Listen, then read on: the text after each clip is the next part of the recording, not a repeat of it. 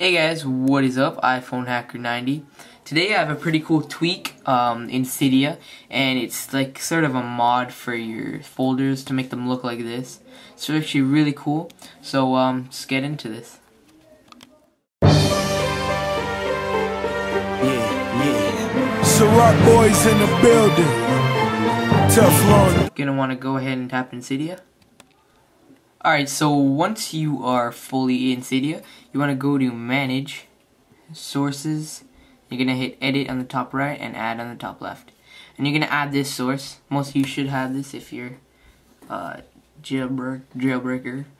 Um, so you can add this Xsellize source, cydia.xsellize.com uh, forward slash. It'll also be down in the description down there, so be sure to check that out. Once you've got the source, go ahead and tap on it and go down to where is it? F. So you get folders. Scroll down here till you find folder enhancer just right here. So this is a cracked version. Obviously it is a paid app in the Cydia store.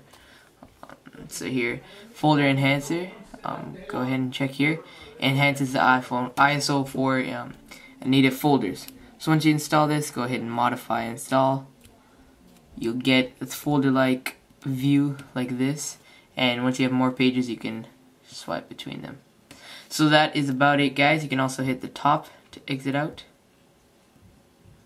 Oh my bad. Or you can just hit an empty space. That is about it guys. Hope you like this video. Comment rate and subscribe. Peace